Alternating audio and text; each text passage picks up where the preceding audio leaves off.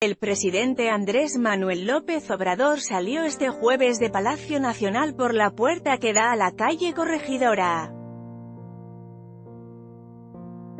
Saludó a la gente con la mano en alto y cruzó la vía lentamente entre reporteros y simpatizantes, acompañado por el consejero jurídico, Julio Serer, y un grupo aproximado de siete integrantes de la ayudantía que no logró abrirle paso.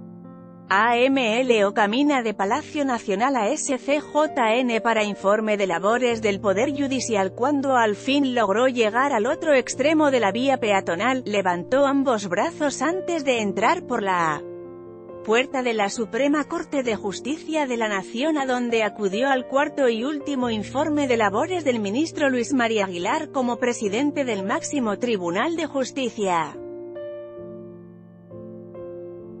Presidente de la SCJN defiende independencia del Poder Judicial subió las escaleras centrales del recinto y llegó al salón de plenos donde fue recibido con los honores correspondientes al jefe del Ejecutivo.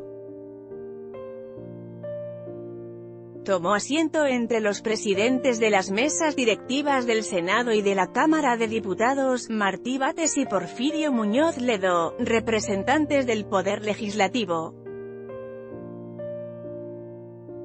En algún momento, durante el informe de labores, el presidente de la República se puso de pie y trató de ayudar al ministro Luis María Aguilar cuando pidió sentarse. Antes de continuar su alocución, el jefe del Ejecutivo permaneció de pie detrás de la silla del ministro hasta que tomó asiento y continuó la sesión.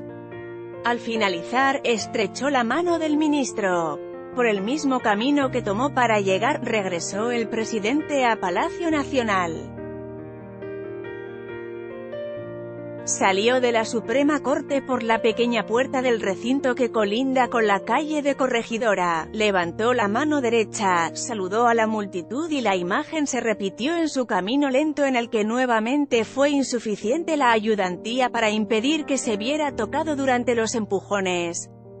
Volvió a Palacio Nacional sin participar en la comida que tradicionalmente se realiza en la Suprema Corte de Justicia de la Nación cuando termina el informe anual de labores del ministro presidente, rompiendo la tradición de sus antecesores, con información de Carmen Jaimes DFO.